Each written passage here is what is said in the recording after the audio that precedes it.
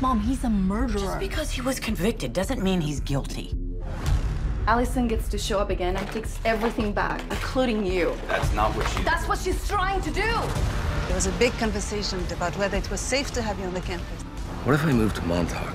Why? To Be with you. You tell him that if he ever so much as sets foot in this town, I will kill him.